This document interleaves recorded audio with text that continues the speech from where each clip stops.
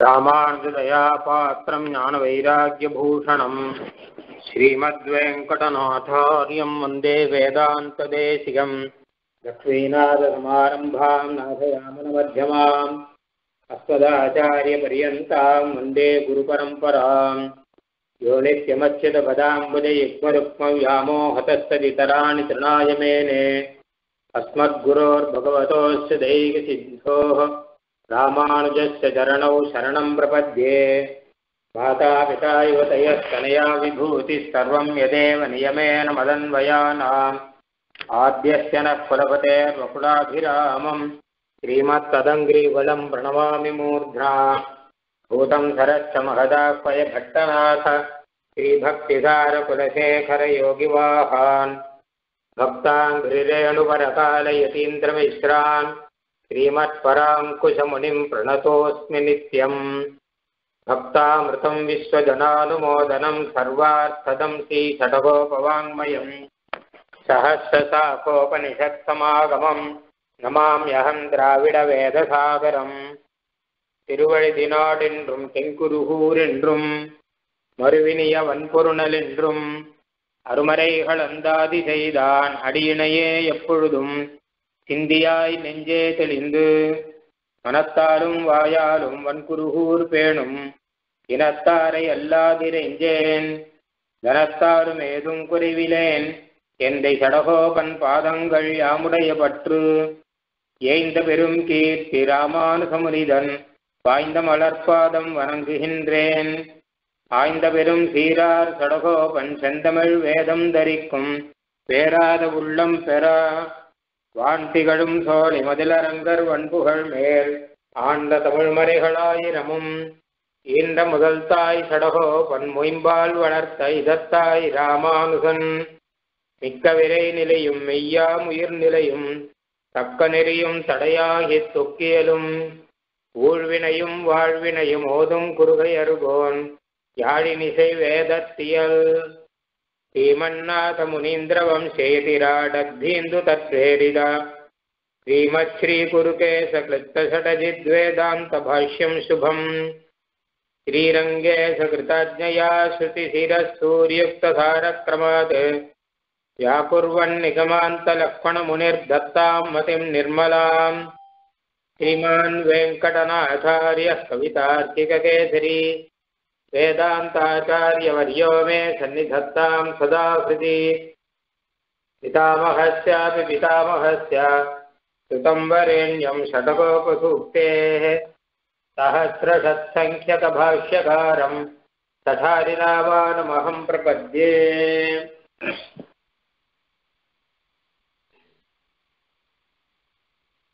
श्रीकृष्णावतारत्ने भगवान् எல்லாருடைய மனசையும் ஆகர்ஷணம் பண்ணுகிறார்.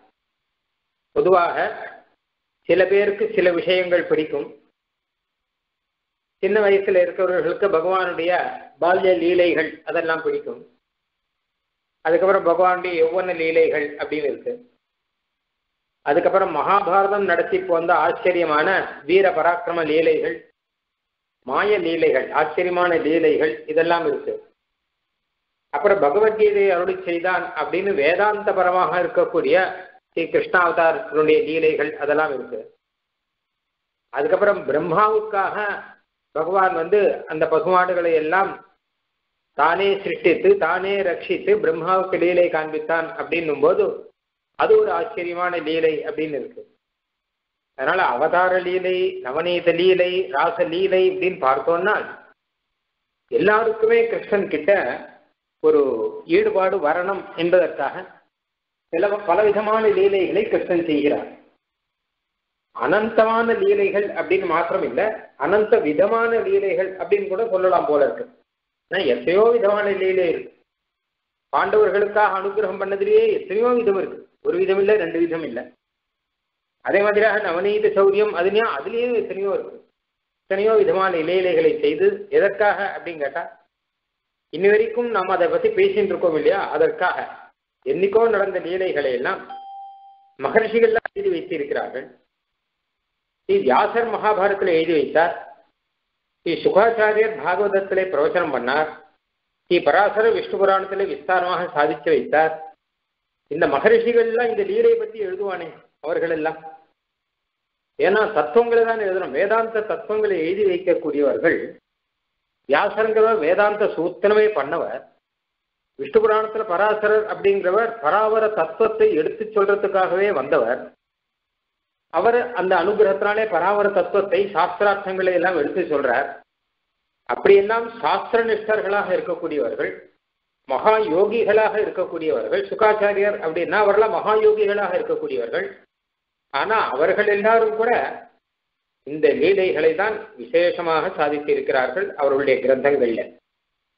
அதனால ஸ்ரீ கிருஷ்ணாவதார லீலை அப்படிங்கிறது பண்டிதர்களுக்காகட்டும் மகர்ஷிகளுக்காகட்டும் பாமரர்களுக்காகட்டும் இல்ல ஒண்ணுமே தெரியாத குழந்தைகளுக்காகட்டும் எல்லாருக்குமே இது சித்தஹாரியாக சித்தர்ஷரி வசீகரிப்பதாக இருக்கு. ஆகர்ஷேத் சர்வசித்தம் ஹரிஹி அப்படின்னு அதனாலதான் சுவாமி தேசிகன் சொல்றார். சர்வச்சித்தம் அப்படின்னு போட்டிருக்காரு. எல்லாருடைய மனசையும் பகவான் ஆக்கர்ஷணம் செய்யக்கூடியவன் அப்படின்னு. ஏன்னா ஆனானப்பட்ட யோகிகள் எல்லாமே தன்னுடைய லீலையினாலே ஆகர்ஷணம் பண்ணி வச்சிருக்கான் அப்படின்னா கிருஷ்ணாவதாரத்துல பார்த்தோம்னா கோபர்கள் என்ன கோபிகள் என்ன பசுமாடுகள் என்ன இவருடைய மனசை எல்லாம் பண்ணியிருக்கான் அதுக்கப்புறம் பார்த்தா மகரிஷிகள் அநேகம் பேர். கர்கர் முதலான மகரிஷிகள் சாந்தீபனி முதலான மகரிஷிகள் அவர்கள் எல்லாமே பகவான் கிட்ட ஈடுபட்டு இருக்கிறார்கள் அப்படின்னு தெரியும் அதனால அப்படி அநேக லீலைகளை செய்து எல்லாருடைய மனசையும் வசீகாரம் செய்தபடினாலே இதை நாம வெறும் லீலைன்னு பார்க்க முடியாது வெறும் வேதாந்தம் அப்படின்னு பார்க்க முடியாது. இது சர்வேஸ்வரனுடைய சர்வேஸ்வரத்துவம் புரிஞ்சாதான் இது புரியும். இல்லட்டா புரியாது. அதனாலதான் பாகவதத்துல சொல்லும்போது தசமஸ்த விசுத்தியர்த்தம் நவானா விகலட்சணம் அப்படின்னு சொல்றார். அது கிருஷ்ணாவதாரம் புரியணும் அப்படின்னா இப்போ முன்னாடி இருக்கிற அவதாரங்கள்லாம் முதல்ல நன்னா புரிஞ்சுன்னு வந்தாதான் கிருஷ்ணாவதாரம் புரியுமா ராமாவதாரம் வரைக்கும் எல்லாத்தையும் புரிஞ்சுன்னு வந்தாதான் கிருஷ்ணாவதாரம் புரியும். திரிக்கிரம அவதாரம் ராமாவதாரம் அவதாரம் அவதாரம்னு ஒன்று ஒன்றையும் எத்தனை தத்துவங்கள் இருக்கு? எல்லாத்தையும் புரிஞ்சுன்னு வந்தாதான் இது புரியுமா? இல்லாட்டா இது ஏதோ வேடிக்கையா இருக்கும். ஏதோ கதையா இருக்கும். அவ்வளவு மாத்திரம்தான். சில பேர்களுக்கெல்லாம் துஷ்டர்களுக்கெல்லாம் இது ஏதோ அநியாயமா கூட தோணலாம். ஆனால் பகவத் தத்துவம் புரிஞ்சிருந்தா தான் இந்த லீலையே புரியும். ஒரு பக்கம் பார்த்தா வேடிக்கையான லீலையா இருக்கு. நவநீத சௌரியங்கள்லாம் சாதாரண குழந்தை கதைகளா இருக்கு. ஆனா அதை புரிஞ்சுக்கணும்னா பகவத் தத்துவம் புரிஞ்சிருந்தா தான் புரியும். பகவான் அபிதா சரதோத் சரதோத்புல்ல மல்லிகாக வீக்ஷரந்தும் மனச்சக்கரே அப்படின்னு ஸ்ரீ சுகா சுகர் சுகாச்சாரியார் சொல்லும்போது ராசக்கிரீடையை சொல்லும்போது இந்த ராசக்கிரீடையை செய்தோன் கிருஷ்ணன் வச்சுக்க வேண்டாம் பகவான் வச்சுக்கோங்கோ அப்படிங்கிற கிருஷ்ணன் தான் பகவான். ஆனா கிருஷ்ணனை வந்து நம்ம கண்ணன் அப்படின்னு நம்ம சொல்லிட்டு இருக்கோம். ஆனா பகவான் பார்த்தா தான் இந்த தத்துவம் புரியும் அப்படிங்கிற இப்படி அநேக லீலைகள் இருக்கிறபடினாலே சுவாமி நம்மாழ்வார் ஆச்சரியமாக சரணாகதி சாஸ்திரத்தை சொல்லக்கூடியவர் பிரபஞ்சன சந்தான கூட்டஸ்தராக இருக்கக்கூடியவர் ஆனால் கிருஷ்ணாவதாரத்திலே அளவற்ற ஒரு ஈடுபாட்டினாலே எத்தனையோ சிவாய் மொழிகள் அருளி செய்திருக்கிறார். அதை நாம் இப்போ பார்த்துட்டு இருக்கோம் இப்போ. அதுல பிறந்தவாரும் வளர்ந்தவாரும் அப்படின்னு சொல்லி அந்த இடத்துல எப்படி கிருஷ்ணாவதார லீலைகளை எல்லாம் சொன்னாரோ அந்த மாதிரி குறவை ஆட்சியரோடு போத்ததுன்னு ஆரம்பிச்சு இங்கேயும் ஆச்சரியமாக அனுபவிச்சுட்டு இருக்கேன் அதில் இப்போ ஆறாவது பாசுரம் பார்க்க போறோம். இகழ்கொள் புள்ளை பிளந்ததும் இமிலேறுகள் செற்றதும் உயர்கொள் சோலை குறுந்துசித்ததும் உட்பட மற்றும் பல அகழ்கொள் வையமளந்த மாயன் என் அப்பன் தன் மாயங்களே. பகலிரா பரவப் பெற்றேன். எனக்கென்ன மனப்பரிப்பே? விரோதத்தோடு வந்திருக்கக்கூடிய ஒரு பக்ஷி பகாசுரன் என்பவன் அவனை பிளந்தான் எம்பெருமான். அதுபோல மிக உயர்ந்த திமில்களை உடைய எருதுகள் ஏழு. அசுர ஆவேசத்தோடு இருக்கக்கூடிய எழுதுகளை அடக்கினான். மிக உயர்ந்ததான குருந்த விரக்ஷம் என்ற விரக்ஷத்தின் மேல் ஏறி அதை முறித்தான். இப்படியாக இல்லை குருந்த விரக்ஷத்தை முறித்தான். இப்படியாக இன்னும் இருக்கக்கூடிய எம்பெருமானுடைய மாயங்கள் ஆச்சரிய லீலைகள் அகல்கொள் வைய வளர்ந்த மாயன் அவன். அந்த வைய வளர்ந்த திருவிக்கிரமனாக வைய வளர்ந்த மாயனுடைய இந்த சரித்திரங்களை எல்லாம் நான் பகலிலும் இரவிலுமாக சொல்லிக்கொண்டே இருப்பேன்.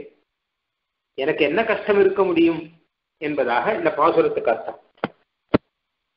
ஒரே வரியில பிள்ளாது சாதிச்சுட்டார். இங்க மூணு விஷயம். பொதுவாக எல்லா பாசுரத்திலுமே மூணு லீலைகளை சாதிக்கிற இதுல முதல் லீலை இகல் கொள் புல்லை பிளந்ததும் அப்படின்னு.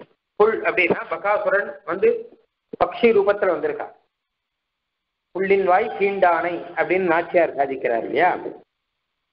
பக்ஷி ரூபத்துல ஒரு அசுரன் பெரிய பக்ஷியா வந்திருக்கான் இந்த காலத்துல பெரிய பக்ஷிகள் நிறைய உண்டு இல்லையோ? இப்போ உண்டு. அந்த மாதிரியாக ரொம்ப பெரிய பக்ஷி ரூபத்துல வந்திருக்கிற பகாசுரன் வந்து அப்படியே கண்ணனை முழுங்கிட்டான். கண்ணனை எடுத்துட்டான் தன்னுடைய துண்டத்தினாலே தன்னுடைய மூக்குனாலே இந்த அழகுன்னு சொல்றா இல்லையா? அதனால கண்ணனை எடுத்தா பசங்கள்லாம் விளையாடிட்டு இருக்கா எல்லாரும். அப்போ கண்ணனை எடுத்து கப்பக்கம் முழுங்கிட்டான். பெரிய பட்சி எப்பவுமே காட்டுல இந்த அசுர பட்சிகள்லாம் சிலது இருக்கும். கண்ணனை முழுங்கின்ற உடனே பசங்கள்லாம் எல்லாரும் பக்கத்துல இருக்காங்க ஐயோ கண்ணனை காணும் இந்த பட்சி முழுங்கிடுத்தே அப்படின்னு சொல்றான் ஆனா உள்ள அவனுக்கு அக்னி மாதிரி கண்ணன் அப்படியே தகிக்கிறான்.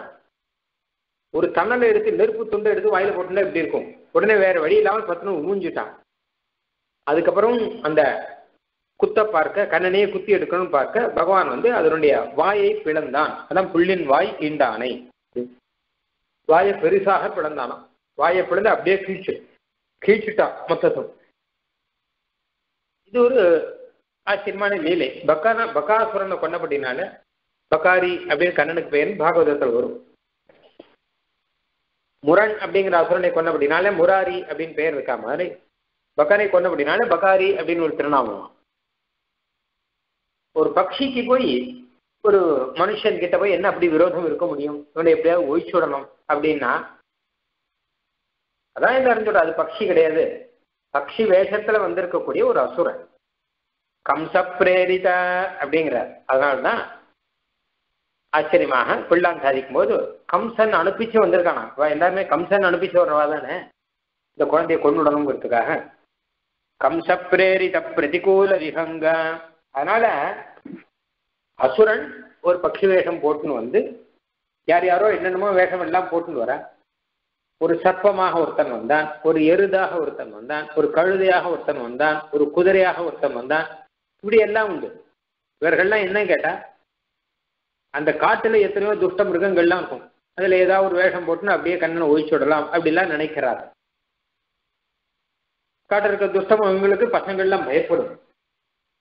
ஆனால் இவர்களுக்கு அந்த குழந்தைக்கு ஆகாத காரணம் கம்சன் தான் அதனால இகழ்கொள் இகழ்கொள்னா விரோதத்தை கொண்டிருக்கிற அப்படின்னு அர்த்தம். இல்லாட்டா குழந்தைகிட்ட அது வர வேண்டிய விஷயம் இல்லை. அப்படி விரோதத்தோடு வந்திருக்கிறபடினால பகவான் வந்து ஒழிக்க வேண்டியதாக போயிடுது. இகழ்கொள் புள்ளை பிளந்ததும். உடனே அந்த குழந்தைகளுக்கெல்லாம் ரொம்ப சந்தோஷம். ஒரு பட்சியை போய் புள்ளின் வாய் கீண்டானை அப்படின்னு சொல்லி கீழ்ச்சி போட்டான்னா உடனே அந்த பட்சியை பிடிச்சி கட்டி போட்டுதான் அதை கீழ்ச்சி போட்டாச்சே. இருந்தால் கூட கட்டி போட்டு அது சிறகெல்லாம் எடுத்து அதையே கொடி மாதிரி கட்டி ரொம்ப பெருசாக பிரம்மாண்டமாக இருக்கு. பசங்க விளையாடுறதுக்காக இப்படி எல்லாம் பண்ணித்தான் எல்லாரும் இந்த பட்சியினுடைய சிறகை பார்க்கட்டும். அந்த பார்த்தவராவது இனிமேல் யாராவது கண்ணனை கொல்லணும்னு வந்தா இந்த பகாசுரன் அவனுடைய சிறகை பார்த்து பயந்து போனோமா எல்லாரும். ஐயோ நமக்கு முன்னாடி இவன் வந்திருக்கான் போல இருக்கு. இந்த பகனுக்கு இந்த கதினா நமக்கு என்ன கதி ஆகும் அப்படின்னு எல்லாரும் புரிஞ்சுக்கணும் அப்படின்னு நினைச்சா இந்த குழந்தைகள்லாம். அதனால என்ன பண்ணாண்டா எல்லாருக்கும் ஒரு அடையாளமா இருக்கட்டும் அப்படிங்கிறதுக்காக அதையே போட்டு கொடியாக கட்டி வச்சார்கள் அப்படின்னு யாதவா விதத்தில் ஒரு ஸ்லோகத்தில் வரும். இகழ்கொள் புள்ளை பிளந்ததும் அதாவது எம்பெருமானுக்கு ஒரு லீலையாக இருக்கிற மாதிரி அந்த குழந்தைகளுக்கு ஒரு வேடிக்கை ஏன்னா அந்த வேடிக்கையே ஒரு வாடிக்கை ஆயிட்டபடினால இது ஒன்றும் பெருசா பலம் பயம்னா ஒன்றும் தெரியல. வழக்கமாக அசுரர்கள் வருவதும் உடனே இவர்கள் பயப்படுவதும் உடனே கண்ணன் வந்து அவர்களை சம்ஹாரம் செய்வதும் இது வழக்கமாயிருக்கு அப்புறம் இமில் ஏறுகள் செற்றதும். ஏறி நிறைய திமிலோடு இருக்கக்கூடிய எப்பவுமே காளை மாடுக்கு சக்தி ரொம்ப அதிகம். அதில் ஏழு காளை மாடு ஏழும் அசுராவேசத்தோடு கூட இருக்கக்கூடிய காளை மாடுகள் யாருமே அடக்க முடியாமல் இருக்கும்போது இந்த அடக்கக்கூடிய மகாவீரன் யார் வருவானோ அப்படின்னு நினைச்சுட்டு இருக்கா கும்பன் ஒருத்தன். அவாத்துல தான் இருக்கு இந்த ஏழு கால மாடு. சாதாரண கால மாடா இருந்தாலே அடக்கிறது கஷ்டம்.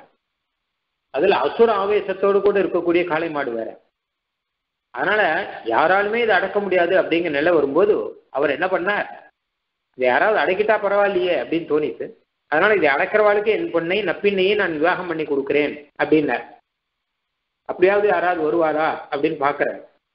ஆனால் இந்த காளை மாட்டை வந்து பார்த்தவன் எல்லாரும் இதுல ஒரு காளை மாடை கூட அடக்க முடியாதுன்னு நல்லா தெரிஞ்சினபடினால அவர் பார்த்து அப்படியா அப்படி அப்படின்னு விசாரிச்சுட்டு போயிடுறாளே தவிர யாரும் பிரயத்தனப்படலை முன்னாடி வந்து. நான் இதை பார்த்தாலே தெரிஞ்சு போச்சு. அதனுடைய இமில் கொள் அப்படிங்கிறார். அதுக்காக தான் இமில் அப்படின்னா எருதுக்கு மேல இருக்கக்கூடிய திமில் அப்படின்னு சொல்லுவா தமிழ்ல. இல்ல இமிழ்ங்கிறது தமிழ் தானே மேல தோல் மேல இருக்கக்கூடியது.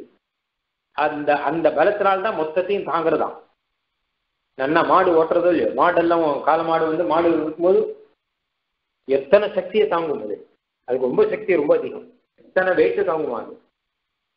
அதனால அதை பார்த்தோம்னே எல்லாரும் ஓடிடுவாங்களாம் சரி நம்மளால இது முடியாத காரியம் அப்படின்னு.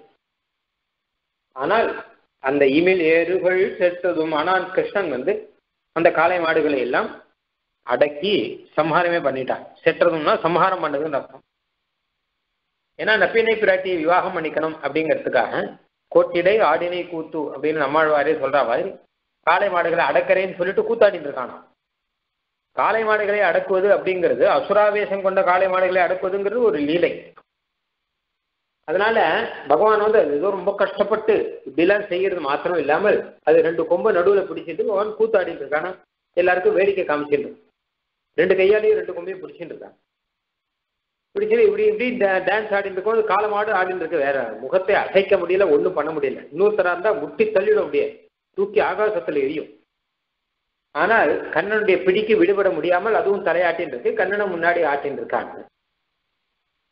இப்படி வேடிக்கை காமிச்சுட்டு இருக்கான் நப்பினை பிராட்டிக்குமே ஒரு வேடிக்கை காமிச்சுட்டு இருக்காங்க ஆக இமிழ் ஏறுகள் செற்றதும்.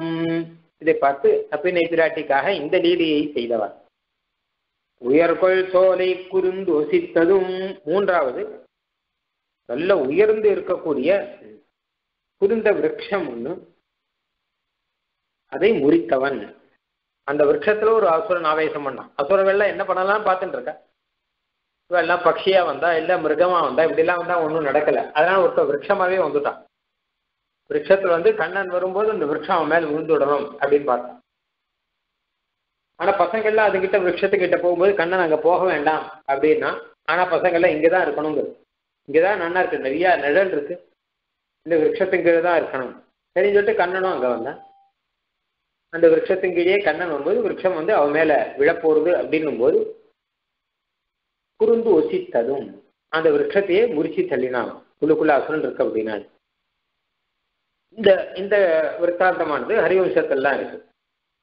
ஆழ்வார்கள் அடிக்கடி சொல்ற வழக்கம் குறுந்தொசித்த கோபாலகன் அப்படின்னார். அழகாக.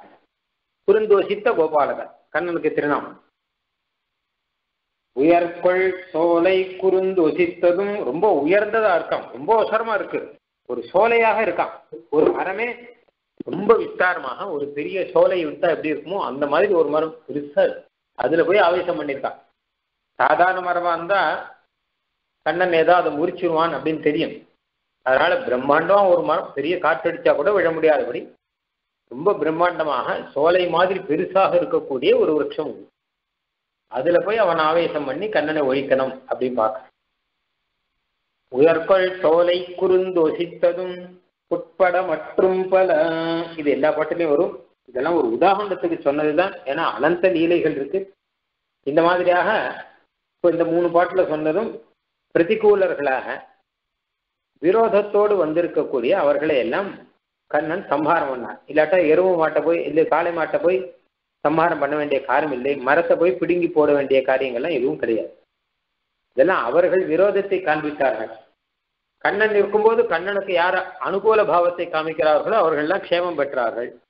யார் பிரதிகூல பாவத்தில் கண்ணனையே ஒழிக்கிறேன் அப்படின்னு வந்தாலோ அவர்கள் தானே ஒழிஞ்சு போகிறார்கள் இதெல்லாம் பார்த்துட்டாவது கம்சனுக்கு தெரிஞ்சிருக்கணும். ஆனால் கம்சனுக்கு அதெல்லாம் எதுவும் தெரியல. காரணம் என்ன கேட்டால் புத்தி இல்லை அப்படிங்கிறதா காரணம்.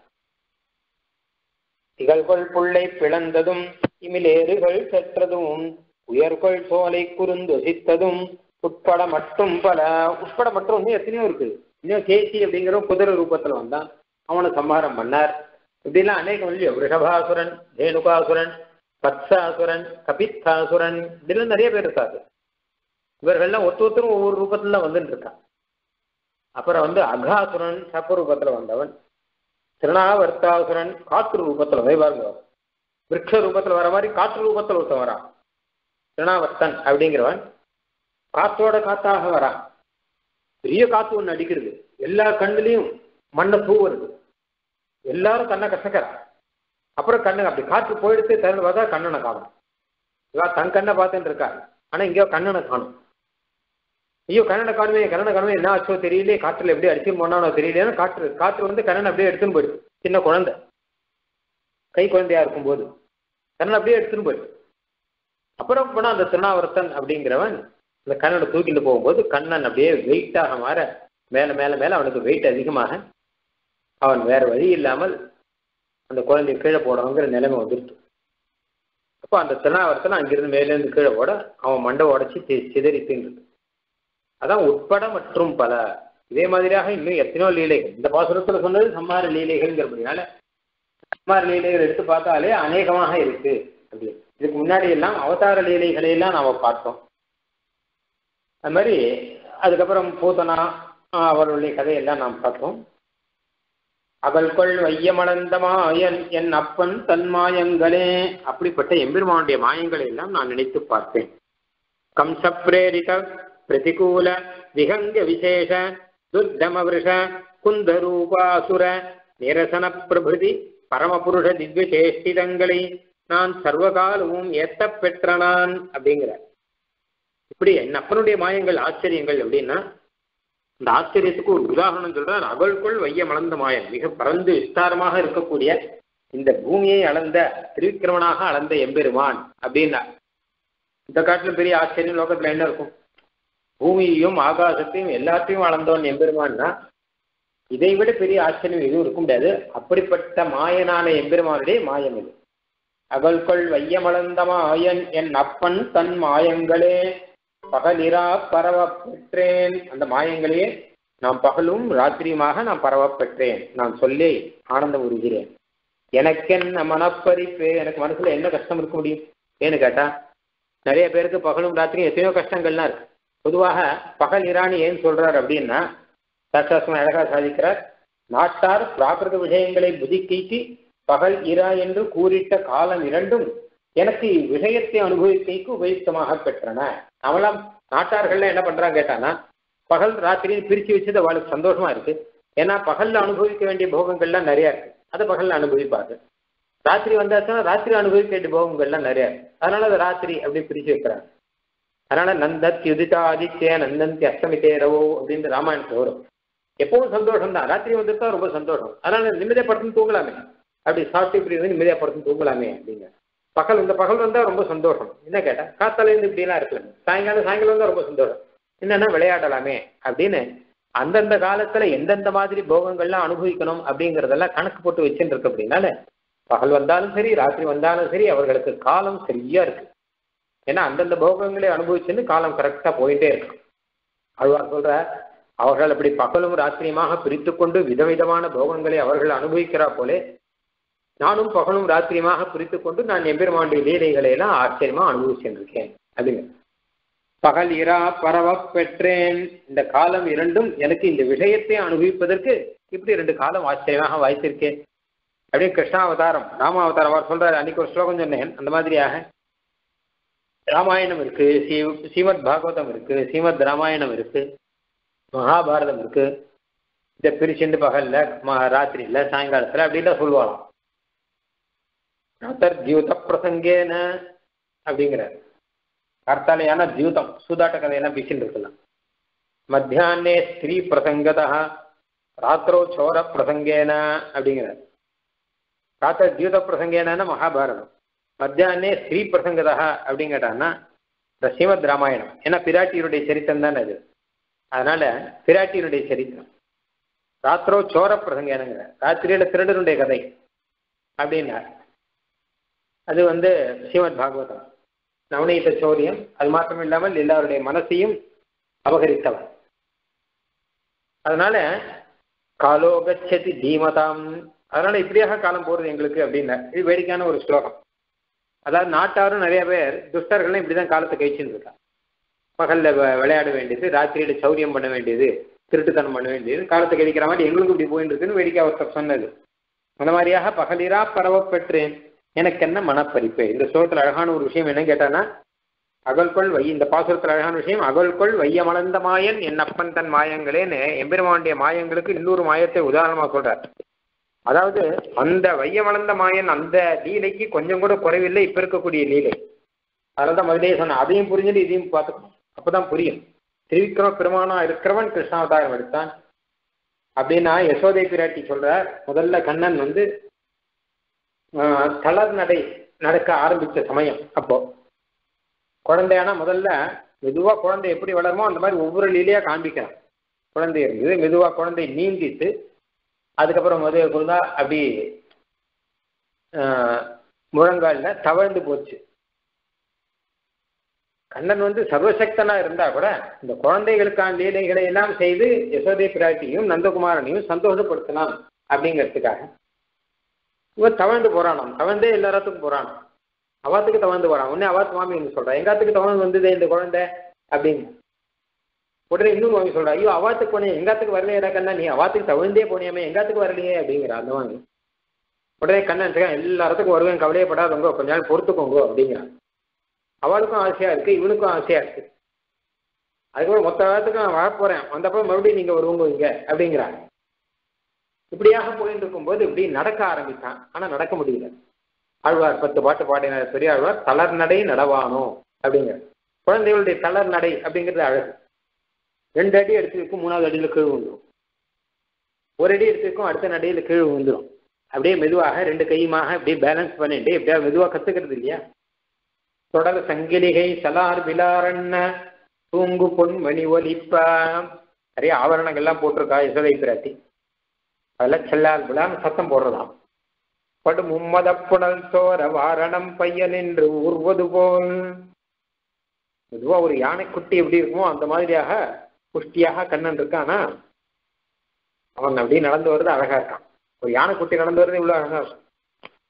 உடன் கூடி கெங்கினி ஆரவாரிப்ப உடைமணி பறை கலங்க தடம் தாழியினை கொண்டு சார்ந்த பாணி தளர் நடை நடவானோ அப்படிங்கிற அது தலைநடை நடக்கிறத பார்க்கும்போது யசோதைக்கும் ரொம்ப ஆனந்தமா இருக்கும் யசோதை பாடுற பாட்டு பெரியாழ்வார் பாடுற பாட்டு. அப்ப யசோதை பிராட்டி சொன்னாலாம் ஒரு அடி எடுத்து வச்சா கண்ணன் கீழ் விழுந்துட்டான். ரெண்டாவது எடுத்து வச்சா கீழ் விழறான். என்னடா ஒரு அடி தான் எடுத்து வைக்கிற? தொடர்ந்து மூணு அடி எடுத்து வைக்க மாட்டேங்குது இப்போ கண்ணனை பார்த்து சொன்னா கண்ணா எனக்காக ஒரு மூணு அடி கொடு அப்படின்னா. மூணு அடி எடுத்து வை அப்படின்னா. கண்ணனை தூக்குவாரி போட்டு மூணு அடி எடுத்து வச்சவன். ஒரு காலத்துல திரிக்கிரம அவதாரத்துல மூணு அடி எடுத்து வச்சவன் தானே இவன். இப்போ எங்கிட்டயே வந்து மூணு அடி கேட்கிறாரு நானே மகாபலி கிட்ட மூணு அடி கேட்டு வாங்கி மொத்தத்தையும் அளந்துட்டேன் இப்போ மறுபடியும் மூணு அடி எடுத்து வைக்கணுமா மொத்த லோகத்தையும் அளக்கணுமா? அப்படின்னு பார்த்தானா. லோகத்தையெல்லாம் ஒன்றும் அளக்க வேண்டாம். இப்போ அம்மாவுக்கான லீலை இது. இது மகாபலி சக்கரவர்த்திக்கான லீலை இல்லை. இல்லை தேவேந்திரனுக்கான லீலை இல்லை. இது யசோதை பிராட்டிக்காக வரக்கூடிய லீலை தானே. அதனால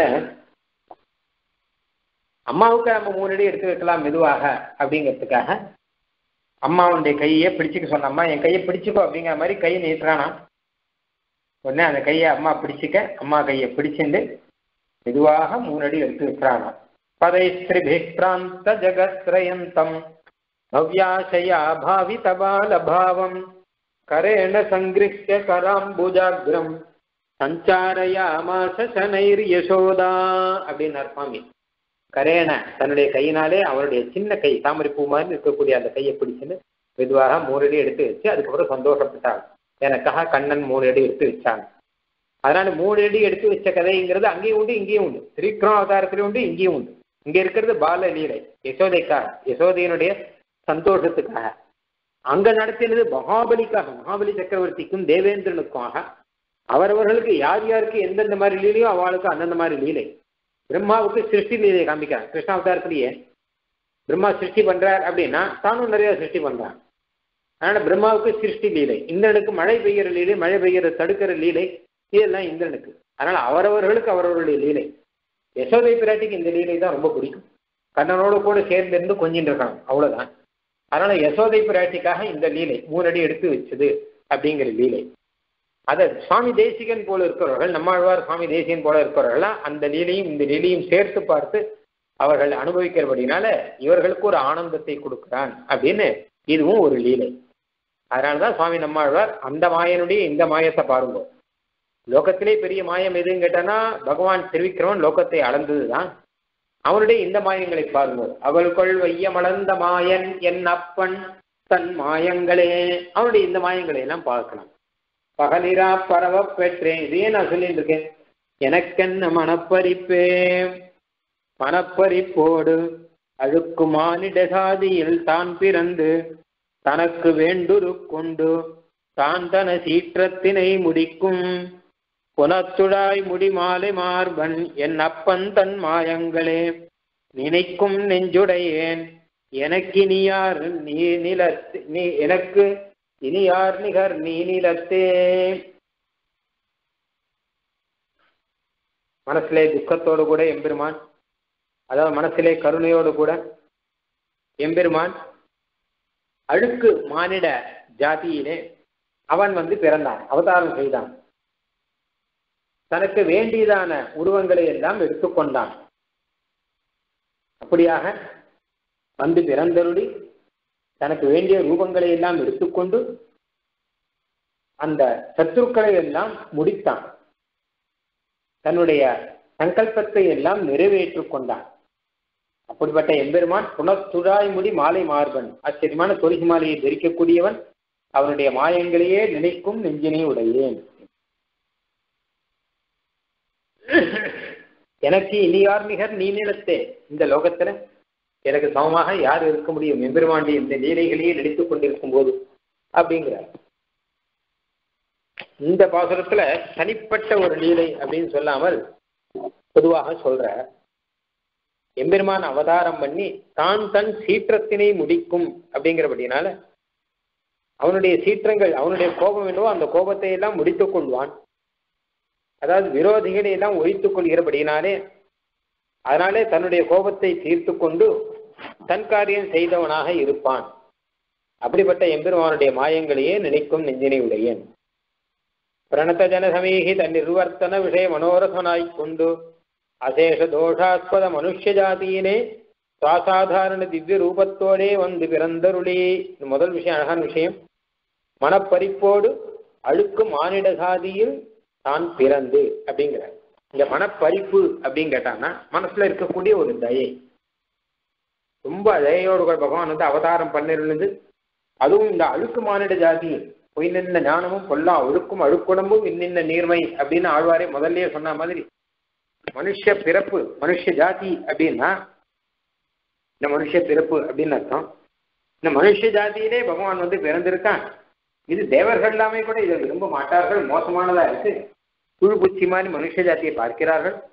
அப்படி இருக்கும்போது எம்பெருமான் வந்து பிறந்தானே இதுக்கு காரணம் என்ன கேட்டா மனப்பறிப்போடு அதாவது இந்த மனுஷர்களெல்லாம் தன் திருவடியை வந்து சேர்ந்துடணும் அப்படிங்கிறதுக்காக அவர்களை தம் பக்கம் சேர்க்கணுங்கிறதுக்காக தான் நம்ம பக்கம் வந்துருக்கான் இந்த லீலைகளை காண்பிச்சாதாவது அவங்களை அவர்களை வெற்றிகாரம் பண்ணி தன் திருவடியிலே சரணாகதி பண்ண சொல்லலாம்னு எல்லா லீலையும் பண்ணி கடைசியில பகவத்கீதை அப்படிங்கிற லீலையில மாமேக்கம் சரணம் விரஜ அப்படின்னு அதையும் லீலையாகவே சொல்லிட்டு போனான். அந்த வேதாந்தத்தையும். எவ்வளோ பெரிய சாஸ்திரார்த்தம் அது? உபரிடத்தெல்லாம் எவ்வளோ மறைச்சு ஒழிச்சு சொல்லியிருக்கக்கூடிய சாஸ்திரார்த்தம். அதை அனாயாசமாக அர்ஜுனன் அப்படின்னு ஒரு வியாஜத்தை வச்சுட்டு யுத்த பூமியில மாமேக்கம் சரணம் விரஜ அப்படின்னு சொல்லிட்டு போறான் இல்லையா? அதான் மனப்பறிப்பு அப்படிங்கிற பிரணத்தஜன சமீகித நிர்வர்த்தன விஷய நானை தன்னை யார் ஆசிரிக்கிறார்களோ அவர்களுக்கெல்லாம் என்னென்ன வேணுமோ அதையெல்லாம் தான் நிறைவேற்றி கொடுக்கணும் அப்படிங்கிறதுக்காக. சமீகித நிர்வர்த்தன விஷய மனோரசனாய் கொண்டு இங்க ஒரு அழகான விஷயம் ஒன்று இருக்கு. அதாவது என்ன சொல்றேன். மனப்பறிப்பு அப்படின்னா மனச துக்கம் அப்படின்னு அர்த்தமாகும். ரொம்ப துக்கப்பட்டு வந்து பகவான் பிறந்தான் அப்படின்னு சொன்னா வச்சுக்கோங்க. அப்புறம் நம்ம பிறப்புக்கும் அவன் பிறப்புக்கும் வித்தியாசம் இல்லை அப்படின்னு ஆயிடும். ஏன்னா நம்மளும் துக்கப்பட்டு தான் வந்து பிறக்கிறோம். அவனும் துக்கப்பட்டு தான் வந்து பிறக்கிறான். அப்போ எப்படி அர்த்தம் சொல்றதுன்னா பிள்ளை ஆச்சரியமா சாஸ்திர இந்த துக்கம்னா துக்கம்னு அர்த்தம் இல்லை. பின்ன என்ன கேட்டானா பிரணத்த ஜன சமீகித நிர்வர்த்தன விஷய தன்னை ஆசைத்தவர்கள் யார்களோ அவர்களுடைய காரியத்தை எல்லாம் நடத்தி கொடுக்க வேண்டும் அப்படிங்கிற ஒரு ஆசை. அதாவது எம்பெருமானுக்கு துக்கம் அப்படின்னு ஒன்று கிடையாது. பின்ன எம்பெருமான் என்ன பண்றான்னா ஆசிரியர்களுடைய துக்கம் அப்படின்னு ஒன்று இருக்கும் இந்த பூலோகத்தில் இருக்கக்கூடிய பகவானை சேர்ந்த பக்தர்கள் அவர்களுக்கு சம்சார துக்கம் அப்படிங்கிறது இருக்கும் அந்த சம்சார துக்கத்தை எம்பெருமான் சகிக்க முடியாமல் இருக்கிறபடினாலே இவர்களுடைய சம்சார துக்கத்தை எப்படியாவது போக்கடிக்க வேணும் அப்படிங்கிற எண்ணத்தோடு கூட எம்பெருமான் வந்து பிறக்கிறான் நிர்வர்த்தன விஷய நிவர்த்தனம் ரணத்தஜன சமீகித நிர்வர்த்தன விஷய அவர்கள் நினைச்சதை எல்லாம் நடத்தி கொடுக்கணும். அவர்கள் சம்சாரத்தை ஒழிச்சு மோட்சத்துக்கு போகணும்னு நினைச்சா அதை நடத்தி கொடுக்கணும். அவர்கள் சரணாகதியை ஏற்றுக்கொள்ளணும் அப்படிங்கிறதுக்காக எம்பெருமான் வரானாம்.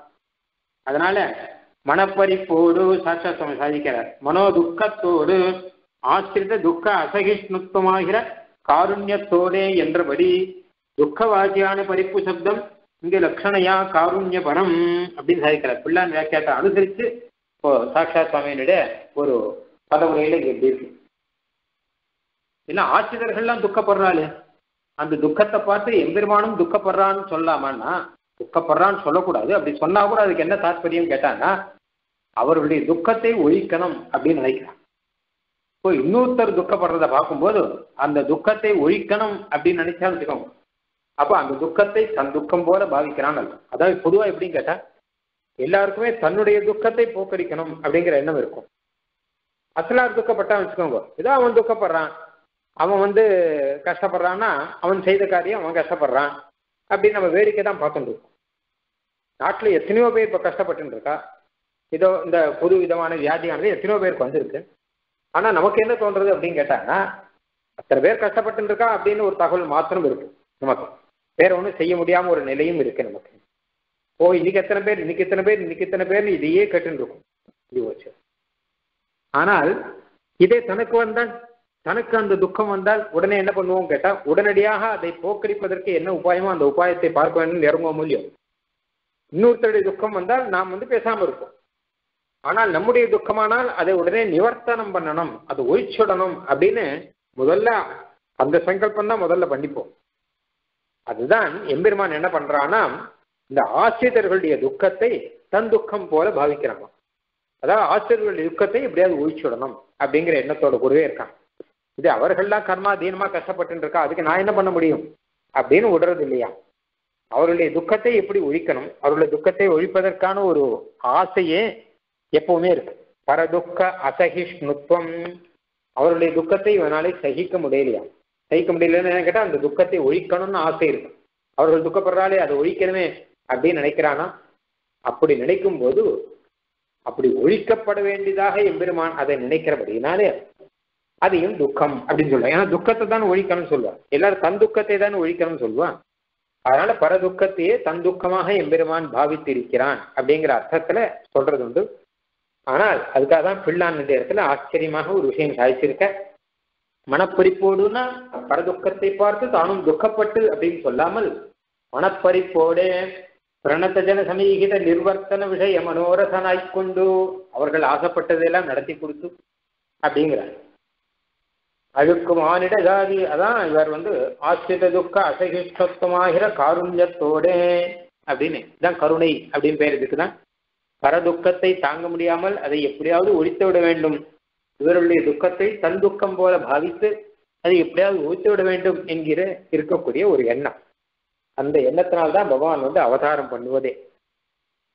மனப்பறிப்போடு அழுக்கு மானுட சாதியில் பகவான் மானுட ஜாதியில தேவர்கள் கூட பிறக்க மாட்டார்கள் எம்பெருமான் வந்து பிறந்து அப்படிங்கிறார். அவன் எம்பெருமான் வந்து அவதாரம் செய்து அப்படின்னு தானே சொல்லணும். அசேஷ தோஷாஸ்பத மனுஷ ஜாதியிலே அப்படின்னு பிள்ளான் சாதிக்கிறார். ஒரு தோஷம் பாக்கி இல்லாமல் எல்லா தோஷமும் இருக்கு மனுஷ ஜாதியிலே. அதிலே வந்து பிறந்தான். வந்து பிறந்தருளி. ஆனா அவதாரம் பண்ணின்னு சொல்லணும் இல்லையோ? மனுஷ ஜாத்தியில வந்து பிறந்தானா மனுஷனை வந்து பிறந்தான்னு எம்பெருமானை சொல்லலாமா? எம்பெருமான் அவதாரம் பண்ணினான் தானே சொல்லணும். அப்ராகிருதமான திவ்யமயமான விக்கிரகத்தோடு கூட தானே வந்து அவதாரம் பண்ணியிருக்கான்னு அதை பிள்ளான் சாதிக்கிறார். ஸ்வ அசாதாரண திவ்ய ரூபத்தோடே வந்து பிறந்தருளி அப்படின்னு சாதிக்கிறார். ஏன்னா பிறந்து அப்படின்னு சொன்னா உடனே நம்மள மாதிரி அழுக்கு மானிட ஜாதியில் தான் பிறந்து அப்படின்னா பகவானும் அழுக்கு மானிட உருவத்தை எடுத்துன்னு பிறந்தான் அப்படின்னு நினைக்கக்கூடாது எம்பெருமானுடைய பிறப்புல அவனுடைய சரீரம் அப்படிங்கிறது அப்ராகிருதமானது. திவ்யமயமான ஒரு திருமேனி அது. அதனால அழுக்க மானிட ஜாதியில் தான் பிறந்து அப்படிங்கிறதுக்கு அழுக்க மானிட ஜாதியிலே அசாதாரண திவ்ய ரூபத்தோடே வந்து பிறந்தருளி அப்படின்னு பிள்ளான் ஆச்சரியமாக சாதிக்கிறார். எம்பெருமான் ஒரு அப்ராகிருத திவ்ய விக்கிரகத்தோட கூட வந்து பிறந்திருக்கான் அப்படிங்கிறது வாசம் ஆனால் அப்படி சொல்ற அவதாரம் பண்ணி அப்படின்னு அர்த்தம். அவதாரம் அப்படின்னா தானே ஆச்சரியமான ரூபத்தை எடுத்து பிறக்கிறதுக்கு அவதாரம் பெயர். கர்மாதீனமாக கிடைச்ச ரூபத்தை வச்சுட்டு இருக்கிற நம்மளாம் ஒரு பிறப்பு அப்படின்னு பெயர். அப்ப எம்பெருமானை அவதாரம் பண்ணி அப்படின்னு சொன்னா இந்த அர்த்தம் கிடைக்கும். ஆனா ஆழ்வார் வந்து பிறந்துன்னு சொல்லியிருக்க அதுக்கு அழகா ஒரு தாற்பயம் சாதிக்கிறார். பத்து மாசம் கர்ப்பத்திலே வசிக்கையாலும் தாய்மாருக்கு முறை சுரக்கையாலும் அவர்களுக்கு கட்டவும் அடிக்கவுமாம்படி தன்னை எளியனாக்கி வைக்கையாலும் அவதாரத்தை பிறப்பாக சொல்லுகிறார் அப்படின்னு சாட்சா சுவாமி சாதிச்சார். இங்க அவதாரம் பண்ணிங்கிறதான் சொல்லணும். அதை பிறந்துன்னு சொல்றதுக்கு காரணம் என்னன்னு கேட்டா இந்த பிறக்கிறவர்கள் பட பாட்டை அவனும் பட்டிருக்கான் அந்த தேவிக்கு அம்மா அவருடைய வயிற்றிலே திருவயிற்றிலே பத்து மாசமும் எம்பெருமான் இருந்திருக்கான். அந்த மாதிரியாக இங்கே யசோதை பிராட்டிக்காக அவள் கட்டி அடிக்கலாம்படி யசோதை பிராட்டியோட தாய்ப்பால் சாட்டிருக்கான் அவள் கட்டி அடுக்கலாம்படி அவளுக்கு பவ்யமாக உரலிலே கட்டி போட்டால் கட்டி போட்டபடி இருந்துருக்கான் அதனால அப்படி இருக்கப்படினாலும் அவன் பிறந்துன்னு சொல்றதுல என்ன தப்பு? பிறக்கிறவர்களுக்குள்ள என்ன பாடு இருக்கோ அதெல்லாம் அவனும் பட்டிருக்கான். இருக்கிறது ஆச்சரியமான அபராதமான திவ்ய ரூபம். ஆனா அவர்களுக்கு அனுகிரகம் பண்ணணும் அப்படிங்கிற புத்தியினாலே தேவகிக்கும் அனுகிரகம் பண்ணணும். யசோதைக்கும் அனுகிரகம் பண்ணணும். யசோதை பால் சாப்பிடலன்னு வச்சுக்கோங்க. அவள் அன்னைக்கு தூங்க மாட்டாள் அவள் அன்னைக்கு சாப்பிட மாட்டாள் அவள் அன்னைக்கு அழுதுன்னு இருப்பாள் குழந்தைகிட்ட அப்படி ஒரு வாத்சல்யம்.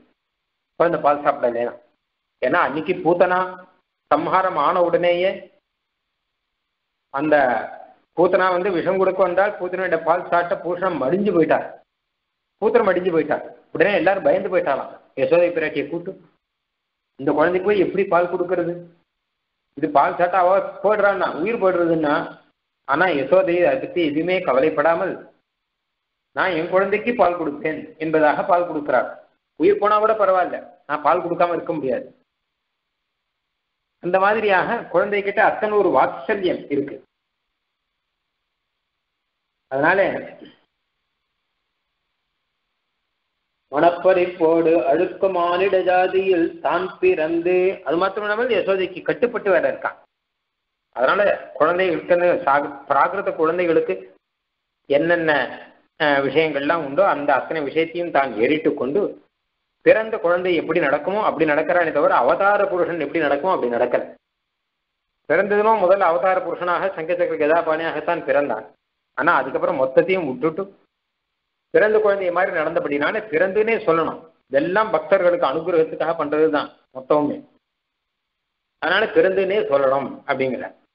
யசோதை பிராட்டி பால் கொடுத்தான்ற விஷயத்தை சுகாச்சாரியர் சொல்லி முடிச்சுட்டு அதுக்கப்புறம் என்ன சொல்றார் அப்படின்னு கேட்டான்னா எம்பெருமானுக்கு நீங்களும் பால் கொடுங்கிற நித்தியம் பெருமானுக்கு பால் சமர்ப்பிக்கலாமே.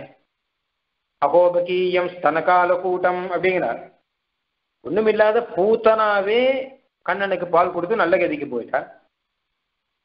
அப்படின்னா யசோதை பிராட்டி நித்தியம் கண்ணனுக்கு பால் கொடுத்தா? இப்போ தினம் ஒரு டம்ளர்ல பால் வச்சு கிருஷ்ணனுக்கு பால் சமர்ப்பிச்சான்னா அதை ஆனந்தம் என்ன இருக்க முடியும்? இது அந்த யசோதை பாவம் இருந்தால் தான் வரும். எம்பெருமானுக்கு நித்தியம் க்ஷீர சமர்ப்பணம். அப்படின்னா குழந்தையா பாவிச்சுதான் அவனுக்கு பால் கொடுக்கல. இப்போ நடாதுரமால் சமர்ப்பிச்சார் இல்லையா? பாலை நன்னாக ஆத்தி சுட சுட இருக்க வேண்டாம்னு பாலை நன்னாக ஆத்தி சுட சுட பால் சமர்ப்பிச்சா வரதாஜ பெருமாளுக்கு அவருக்கு பொறுக்கல இல்லை வரதாஜ பெருமாள் குழந்தை மாதிரி. அவனுக்கு போய் சுட சுட பால் கொடுத்தா எப்படி ஆகும்? நம்மளாம் பெருமாளுக்கு பால் சுட சுட இருந்தா என்ன? அப்படின்னு முக்காவாசி எல்லா வஸ்துவுமே ஆவி பறக்க தான் பெருமாள் கொடுக்கும் பிரசாதமானாலும் ஆவி பறக்க இருக்கும். பால் ஆனாலும் ஆவி பறக்க இருக்கும். குழம்பு சாத்துந்தானாலும் ஆவி பறக்க இருக்கும். ஆவி தான் பெருமாளுக்கு ஆறினப்புறம் நமக்கு. ஆனால் நடாதுரம்மாள் மனப்பறிப்போடு ரொம்ப மனசு பறிப்போடு கூட ஐயோ எம்பெருமானுக்கு இப்படி பண்ணலாமா அப்படிங்கிறதுக்காக அந்த பாலை எடுத்து நன்றாக ஆர்த்தி இது பக்குவமாக அதாவது நல்ல திட்டமான சூட்டலை ஈஷதுஷ்ணமாக திட்டமான சூட்டலை ஆனப்புறம் பெருமாளுக்கு சமர்ப்பிச்ச அப்போ பெருமாள் உண்மையிலேயே குழந்தையா மாறினபடினால் தானே நடதுரமாளை பார்த்து அம்மானு கூப்பிட்டார். அதனால அந்த பாவத்தினாலே யசோதை பிராட்டி பால் கொடுத்தது கண்ணன் பால் சாட்டான் இருக்கும் இல்லையோ அந்த பாவத்தில் நாமளும் பால் கொடுத்தா நம்மகிட்டையும் கட்டாயம் சாப்பிடுவான். அது இல்லைங்கிறது கிடையாது. அதுதான் அந்த சரித்திரம் நமக்கு காண்பிக்கிறதான் அதனாலதான் எம்பெருமான் பிறந்தான்ங்கிறது சத்தியம்ங்கிற அவ பிறந்தான்னா இதெல்லாம் இதெல்லாம் எம்பெருமானாவது பிறக்கிறதாவது இதெல்லாம் வந்து அசத்தியம் அப்படின்னு பொதுவாக நினைப்பார்கள். ஆனால் கண்ணன் சொல்லும்போது பகவத்கீதையில இந்த அவதாரங்கள் எல்லாம் சத்தியங்கள் அப்படிங்கிற இதெல்லாம் வெறும் மாயாஜாலம் இல்லை வேஷம் போட்டுன்னு அப்படி வருது கிடையாது. சத்தியம் பிறந்தான்னா பிறந்தான்ங்கிறது சத்தியம். பொய் கிடையாது. இதுல என்ன அப்படின்னு கேட்டானா தன்னுடைய மகாத்தியத்தை எல்லாம் மறைத்து கொண்டு எம்பெருமான் இருக்கான் அப்படிங்கிறது மாத்திரம். அவன் பிறக்க வேண்டிய அவசியம் இல்லை ஆனால் பிறந்தான். அப்படிங்கிறது தான் சத்தியம். அதனால அவன் எம்பெருமான் வந்து தன் மகிமையெல்லாம் தெரியாமல் இந்த மாதிரி நடக்க தவிழ்ந்து போற மாதிரியோ இப்படியெல்லாம் நடக்க வேண்டிய அவசியம் இல்லை. கட்டுப்பட்டு இருக்க வேண்டிய அவசியம் இல்லை ஆனால் கட்டுப்பட்டு இருந்தான். இது பக்தர்களுக்கு தான் கட்டுப்பட்டு இருப்பேன் அப்படிங்கிறத காண்பிக்கிறதுக்காக வந்துதான். அதனால தனக்கு வேண்டுரு உண்டு. அது மாத்திரம் இல்லாமல் பல விதமாக வந்து பிறந்து இங்க அழகா சொல்றார் நானாவித ஜாதிகளிலே பிறக்கைக்கு கர்மம் பண்ணி வைத்த சம்சாரியும் கூட ஜுகுப்சிக்கும்படியான ஜென்மத்திலே பிறந்தான் கிழீர் ஆசிரியருடைய துக்கம் பொறுக்க மாட்டாமையாலே என்று கருத்து. தேவர்கள்லாம் இருக்கா? அவர்கள்லாம் அந்தந்த பதவியில இருந்துட்டு இருக்கா இந்திரன் இந்த பதவியில இருக்கார் பிரம்மா பிரம்ம பதவியில இருக்கார். நீ எத்தனையோ தேவர்கள் அந்தந்த பதவியில இருந்துட்டு இருக்கா அவர்கள்லாம் நீ போய் மனுஷனா இருக்கேன் கேட்டாலும் மாட்டேங்கிறானேன்னு ஜுகுப்சா வெறுப்பு. சீச்சி மனுஷனை போய் யாராவது போகலாம் நம்மளாம் தேவர்களாச்சே அப்படிங்கிறா. எப்படி ஆனால் புழு பூச்சிகளை நாம பார்க்குறோமோ அந்த மாதிரி மனுஷர்களை தேவர்களை எல்லாம் பார்க்கறாளாம். ஆனால் தேவாதி தேவனாக இருக்கக்கூடிய சர்வேஸ்வரன் இந்த அழுக்கு மானிட ஜாதியிலே தான் பிறந்து அப்படிங்கிற. இந்த இந்த இதுல போய் அவன் வந்து தான் வந்து பிறந்திருக்கான். கர்மம் பண்ணி வைத்த சம்சாரியும் கூட சில சம்சாரிகளான தேவர்கள் அவர்கள்லாம் அந்த கர்மத்தினால தான் அங்க இருக்கா? அவ கர்மத்தினால மனுஷன் வந்து பிறக்கன்னா பிறந்துதான் ஆகணும். வேற வழி கிடையாது.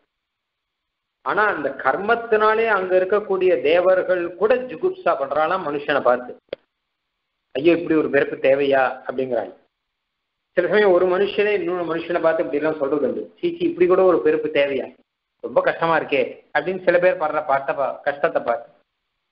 இவன் கஷ்டப்படுவான். இவன் ஜுகுப்சப்படுவான் அப்படிப்பட்ட அழுக்கு மானிட ஜாதியிலே தான் பிறந்து அங்க போய் எம்பெருமான் தான் வந்திருக்கான். எதுக்காக இப்படி வந்திருக்கான் அப்படின்னு கேட்டான்னா மனப்பறிப்போடு அப்படிங்கிற இங்கே இருக்கிறவர்களெல்லாம் தான் கூட்டிக் கொண்டு போக வேண்டும் என்பதற்காக தானே இங்க வந்து பிறந்தால்தான் இந்த லீலைகளை காண்பித்தால்தான் இந்த பகவத்கீதையை சொன்னால்தான் சரணாகதியை சொன்னால்தான் இவர்கள் வருவார்கள். கிருஷ்ணாவதாரத்துல அன்னைக்கு எம்பெருமான் எடுத்த அந்த முடிவு இருக்கொல்லியோ? அதனால வந்து செய்த அவதாரம் இருக்கொல்லியோ? அதனுடைய பலன் தானே இன்னி வரைக்கும் இருந்துட்டு இருக்கு இன்னி வரைக்கும் எல்லாரும் கிருஷ்ணாவதாரத்தை பேசிட்டு இருக்கோம் கிருஷ்ணனை ஸ்தோத்திரம் பண்ணிட்டு இருக்கோம் சரணாகதி பண்ணிட்டு இருக்கோம் கண்ணன் சொன்னான் அப்படிங்கிறதுனால. இவன் வந்து சொல்லலைன்னா இதெல்லாம் நமக்கு விஷயம் எதுவுமே தெரியாது. எதுவுமே தெரியாமல் இந்த அழுக்கமான ஜாத்தியிலே நாம் அப்படியே இருந்துட்டு இருப்போம் அப்படி இல்லாமல் நாம தனக்கு சமமாக வரணும்னா எம்பெருமான் நிலமட்டான் தான் நமக்கு சமமாக இறங்கி வந்துட்டான். பொய் நின்ற ஞானமும் பொல்லா ஒழுக்கும் அழுக்குடம்பும் இன்னின்ற நீர்மை இனியாம் உறாமை. இனிமேல் எங்களுக்கு இது கிடையாது. உயிரளிப்பான் எண்ணின்ற யோனியுமாய் பிறந்தாய் இமையோர் தலைவா. தேவாது தேவனே நீ நாங்களாக வந்து பிறந்திருக்கிறாய். எதுக்காக? அப்படின்னா நாங்கள் நீயாக ஆகணும். நாங்கள் ஒன்ன மாதிரி சீவிகண்ட லோகத்துல வந்து ஆனந்தமாக இருக்கணும். அதுக்காக நீ இங்க வந்து பிறந்திருக்கிறாய் அப்படின்னு அப்படி இங்க வந்து அவதாரம் பண்ணி தனக்கு வேண்டுரு கொண்டு தனக்கு என்ன ரூபம் வேணுமோ அந்த அந்த ரூபத்தை தான் ஏற்றுக்கொண்டு என்பதாக அர்த்தம். கிருஷ்ணாவதாரத்திலே முதல்ல சதுர்புஜனாக சேவை சாதித்தான். அப்புறம் பபுவா பிராகிருத சிசுன்னு சின்ன சிசுவாக ஆயிட்டான் அதுக்கப்புறம் வேறுன்னா வாயை திறந்து பார்த்தா உள்ளுக்குள்ளே சப்தலோகமும் இருக்கு அதுக்கப்புறம் திடீர்னு பார்த்தா சங்க சக்கரத்தோட சேவை சாதிக்கிறான். மகாபாரத யுத்தம் முதலானதெல்லாம். திடீர்னு பார்த்தா மலையை பிடிச்சு நிற்கிறான். திடீர்னு பார்த்தா பாம்பு பிடிச்சு ஆட்டின்னு இருக்கான். எத்தனை இருக்கு? எத்தனை ரூபம் வேணாலும் எல்லாத்தையும் எடுத்துக்கணும். தனக்கு வேண்டு கொண்டு இந்த என்னென்ன விக்கிரகங்கள் வேணுமோ எல்லாத்தையும் ஏற்றுக்கொண்டு அப்படின்னா. கிருஷ்ணரூபாணி அசங்கியானி இதே அப்படிங்கிற இங்க. சாட்சா சுவாமி அதாவது என்ன அர்த்தம் கேட்டானா எம்பெருமான் ஏற்றுக்கொண்ட ஒவ்வொரு ரூபமும் ஒவ்வொரு அவதாரம். இன்னைக்குமே அவதாரங்கள் அவதாரத்துக்குள்ள அவாந்தர அவதாரங்கள் அப்படின்லாம் கணக்கு உண்டு. சுவாமி தேசியன் ரகசியத்தை சா- சாதிக்கிறார். எம்பெருமானுடைய அவதாரங்கள்ல இப்ப சொல்றதெல்லாம் விபவ அவதாரம்னு பெயர். எல்லாருக்குமே தெரியும் இது. விபவ அவதாரத்துல எம்பெருமான் எடுத்த விபவ அவதாரத்துல மொத்தம் முப்பத்தொன்பது விபவ அவதாரம் இருக்கு. அவ்வளவுதான். அதுக்கு மேல விபவ அவதாரம் கிடையாது. எம்பெருமான் சாட்சாத்தாக எடுத்த சாட்சாத்தாகவோ இல்ல ஆவேசமாகவோ இருக்கலாம். எடுத்த விபவ அவதாரம்னா இந்த முப்பத்தொன்பது தவிர வேற எதுவும் சொல்லக்கூடாது என்பதாக ஸ்மிருதிகள் இத்திகாசங்கள் புராணங்கள் அதுக்கப்புறம் ஆகமங்கள் இதெல்லாம் நிர்ணயம் பண்ணியிருக்காங்க. இதுக்கு மேல யாராவது ஒருத்தன் அவதாரம் சொன்னா அதை நம்பக்கூடாது. ஏன்னா ஜனங்கள்லாம் நிறைய பேர் சொல்லிட்டு இருப்பான் இது இவருடைய அவதாரம் இது அவருடைய அவதாரம்னா ஸ்மிருதி இதிகாச புராணத்துல சொல்லியிருந்தா சொல்லலாமே தவிர பகவத் அவதாரத்தை வேற சொல்லக்கூடாது. இது தவிர வேற அவதாரங்கள் அனந்தமா இருக்குன்னு சொல்றாளே நீ முப்பத்தொன்பதுன்னு சொல்றீரே அப்படின்னா அதுக்கும் அங்க பதில் சொல்றார் இந்த அவதாரத்துக்குள்ள உள்ளுக்குள்ள பல அவதாரங்கள் உண்டு. ஏன்னா கிருஷ்ணாவதாரத்தில் ஒவ்வொரு ரூபமே ஒவ்வொரு அவதாரம். எம்பெருமானுடைய திருமேனிங்கிறது நம்ம உடம்பு மாதிரி வளராது. இது அப்ராகிருதமான திருமேனி அது. நம்ம உடம்பு வளர்றது இல்லையா வளரும் குறையும் எல்லாம் பண்ணும் அது எம்பெருமான் தன் சங்கல்பத்தினாலே வளர்த்தணும் அதை. எம்பெருமான் தன் சங்கல்பத்தினாலே குறைக்கணும். குறைக்கணும்னா குறைக்கணும் வளர்த்தணும்னா வளர்த்தணும். அப்படி சங்கல்பத்தினாலே வளர்க்கும் போது முன் திருமேனி போய் அடுத்த திருமேனி வருது அங்கே சங்கல்பத்தினாலே. அதனால என்ன அதுன்னு கேட்டால் அது ஒரு அவதாரமா இருக்கு. எப்படி ஆனால் வாமன அவதாரம் திருவிக்ரம அவதாரம் ரெண்டு அவதாரம் சொல்றாலோ வாமனனே தான் திருவிக்ரமம். ஆனா கூட வாமன அவதாரம் திரிவிக்ரம அவதாரம் அவதார கணக்கில் இருக்கு. அதே மாதிரியாக கிருஷ்ணாவதாரத்துல என்னென்ன விதமாக பகவான் ஆனோ திடீர்னு சங்கச்சக்கர கதாபாணியா இருந்தால் அது ஒரு அவதாரம். அப்படின்னு என்னென்ன விதமா பகவான் இருந்தாலும் இது ஒன்று ஒன்றும் ஒரு அவதாரம் அதான் தனக்கு வேண்டு உருக்கொண்டு இந்த ரீதியில இந்த விபவ அவதாரத்துக்கு உள் அவாந்தர அவதாரங்களாக அசங்கியமா இருக்கு. இதான் கிருஷ்ணரூபானி அசங்கியானி அப்படிங்கிற. இது தவிர எம்பெருமான் விபவ அவதாரம் எடுத்தான் அப்படின்னு கேட்டான்னா ஆழ்வார் ஆச்சாரியர்கள்ட்ட ஆவேச அவதாரம் எடுக்கிறது. அதுவும் அசங்கியம். அதுவும் அநேக அவதாரங்கள். உண்டு ஏன்னா அன்னிலேருந்து இன்ன வரைக்கும் எத்தனையோ ஆழ்வார் ஆச்சாரியர்கள்ல வந்திருக்கான் தான் தன் சீற்றத்தினை முடிக்கும். இப்படி வந்து தான் தன் சீற்றத்தினை அம்பு எம்பெருமானுக்கு அப்ப இருக்கக்கூடிய சீற்றத்தை எல்லாம் முடிக்க வேணுங்கிறதுக்காக பல ரூபங்களை எல்லாம் எடுத்துக்கிறான். அப்போ என்ன கோபம் அப்படின்னு கேட்டா எம்பெருமான் தானே இந்த ஆசிரியர்களை தான் ரட்சிக்கணும் அப்படிங்கிறதுக்காக இங்க வந்து அவதாரம் பண்ணும்போது எம்பெருமானுடைய அனுபவத்தை ஆசிரியர்கள் பெற்றுக்கொண்டு இருக்கும்பொழுது அதுக்கு விரோதியாக யார் வருகிறார்களோ அவர்களை எல்லாம் ஒழிச்சோம் பொதுவாக எம்பெருமானுக்கு விரோதி அப்படின்னு யாரும் கிடையாது. எம்பெருமானை பொறுத்த வரைக்கும் யார் என்ன செய்கிறாளோ அவளுக்கு அந்த பலன். அவ்வளோதான் உன்னுடைய கர்மாதீனமாக உனக்கு பலன். நீ நல்லது செஞ்சா நல்ல பலன். நீ வந்து ஏதாவது சாஸ்திர விரோதமா பண்ணா அப்போ அதுக்கான பலன். அதனால அதில் எம்பெருமானுக்கு யாருக்கிட்டையும் கோபமோ தாபமோ ஒன்றும் வர வேண்டிய அவசியமே கிடையாது. ஏன்னா கர்மாதீனமான பலனை எல்லாருக்கும் கொடுத்துட்றான் அப்படின்னு ஆயிடுச்சு. ஆனால் இப்போ இந்த இடத்துல என்ன ஆறுது கேட்டாங்கன்னா எம்பெருமானுக்கு சத்துன்னு சொன்னா கூட பரவாயில்ல. எம்பெருமானை அடியார்கள் அனுபவித்துக் கொண்டு இருக்கும்போது அந்த அனுபவத்தை தடை செய்வதற்காக வருகிறார்கள். இங்க பூதனா சகடாசுரன் திருணாவர்த்தன் அகாசுரன் வத்சாசுரன் கபித்தாசுரன் எல்லாம். கிருஷ்ணனும் கோபர்களுமாக ஆனந்தமாக அவர்கள் வந்து அனுபவித்துக் கொண்டு இருக்கும்போது அந்த அனுபவத்துக்கு தடையா வரான் இல்லையா? அப்போ ஆசிரியர்களுடைய அனுபவத்துக்கு விரோதியா யார் வந்தாலோ அதை எம்பெருமான் தன் விரோதிகளை அமைக்கிறார் அப்போ அவர்கள்கிட்ட கோபம் வரும். இது சாதாரண கர்மத்தினாலே அவர்கள் செய்த கர்மத்துக்கு பலன் அப்படின்னு மாத்திரம் இல்லாமல் இவர்கள் தனக்கே பரம துவேஷிகள் அப்படிங்கிறதாக எம்பெருமான் நினைக்கிறான். அதனால தனக்கு வேண்டுரு கொண்டு தான் தன் சீற்றத்தினை முடிக்கும் தன்னுடைய சீற்றத்தை முடிப்பான தன் சீற்றத்தினை தன்னுடைய சீற்றத்தை ஆசிரித விரோதி நிரசனத்தாலே தீர்த்து கொள்ளுபவனான ஆசிரிதருக்கு விரோதியை போக்கி கொடுத்தானா இருக்க என்றிக்கே தான் தன்னுடைய கோபத்தை தீர்த்து கொண்டு தன் காரியம் செய்து கொண்டவனா இருக்கும் அவனை அப்படிங்கிறார். அப்போ ஆசிரியர்களுடைய பகவத் அனுபவத்துக்கு விரோதியாரோ அவர்களை ஒழிச்சுடுறான்னா ஆனா தன் சீத்திரம் ஆழ்வார் சொல்லியிருக்கார். அதனால என்ன கேட்டா அவர்களுடைய விரோதி தன் விரோதியாக நினைக்கிறான். அவர்களுடைய விரோதியை ஒழித்தார் தன் காரியம் நடந்ததாக நினைக்கிறான். நம்ம விரோதியை ஒழிச்சா என்ன சந்தோஷமோ? அந்த சந்தோஷமா. பாண்டவான் துஷதே ராஜன்னு அவன் பிராணாகி பாண்டவாக அப்படின்னு தானே சொல்றார் துரியோதனன் கிட்ட. துரியோதனன் கேட்கிறான் உனக்கு எனக்கு என்ன கிருஷ்ணா? நீ எனக்கு சத்ருவான் இல்லையே அப்படின்னா கண்ணன் சொல்றான் நீ பாண்டவர்கள் பாண்டவர்களும் சத்ருவான்னு நினைக்கிற இல்லையா? அப்ப எனக்கு சத்ரு. பாண்டவான் துஷசே ராஜன்னு. நீ பாண்டவர்களை தேசிக்கிறிய. மம பிராணாகி பாண்டவாக. பாண்டவர்கள் எனக்கு பிராணன் ஆச்சே அப்ப நீ சொல்றது எப்படி இருக்கு தெரியுமோ கிருஷ்ணா நான் உன் சத்ரு இல்ல உன் பிராணனுக்கு தான் சத்ரு அப்படின்னு சொல்ற மாதிரி இருக்கு. உனக்கு எனக்கு ஒன்றும் கிடையாது. ஆனா உன் பிராணனை தான் எடுக்க போறேன் அப்படின்னு சொல்ற மாதிரி இருக்கேன் நீ பாண்டவர்களை துவேசிக்கிறிய அப்படின்னு. அந்த ரீதியில ஆசிரியர்கள் அப்படின்னா பகவானுக்கு ஆத்மாக்கள் போல.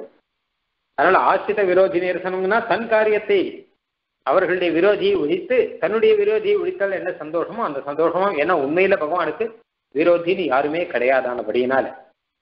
அதனால தாம் தன் சீற்றத்தினை முடிக்கும் சுவாபிமத விபுஜ சதுர்புஜாதி ரூபங்களை ஆஸ்தானம் பண்ணிக்கொண்டு விரோதி நிரசனம் பண்ணி பரிபூர்ண மனோரசனாகையாலே புனத்துழாய் முடி மாலை மார்பன். அதுக்கப்புறம் எம்பெருமான் புனத்துழாய் முடி மாலை மார்பன். ஆச்சரியமான ஒரு புத்தம் புதுசாக பூத்தி இருக்கக்கூடிய ஒரு திருவேணி ஒரு திருத்துழாய் மாலையை தன் மார்பிலே தரித்துக் கொண்டிருக்கிறவன் அர்த்தம். அதை பிள்ளான் சாய்க்குமன் ரெண்டுத்தையும் சேர்த்து முடிச்சு போட்ட விரோதி நிரோசனம் பண்ணி அதனாலே ரொம்ப பரிபூர்ண மனோரசனாக இருக்கிறபடினாலே அந்த துழாயை திருத்துழாயை தரித்துக் கொண்டிருக்கிறான். அது அங்க குணம்னா நிலத்துக்கு பெயர். நிலத்துல இருந்தால் திருத்துழா எப்படி ஆனா மலர்ந்திருக்கும்? அந்த மாதிரி எம்பெருமான் திருவார்பில் இருந்தா மலர்ந்திருக்கும். நமக்கே தெரியும் நிலத்திலேருந்து அந்த திருத்துழாயை படிச்சு எடுத்து வச்சுட்டு வச்சுக்கோங்க அப்புறம் வாடி போயிடும். அது கொஞ்சம் கொஞ்சமா வாட வேண்டியது தானே. ஆனால் அப்படிப்பட்ட திருத்துழா எம்பெருமானுடைய திருமார்பில் இருந்தால் இன்னும் நன்னாக மலர்ந்திருக்குமா?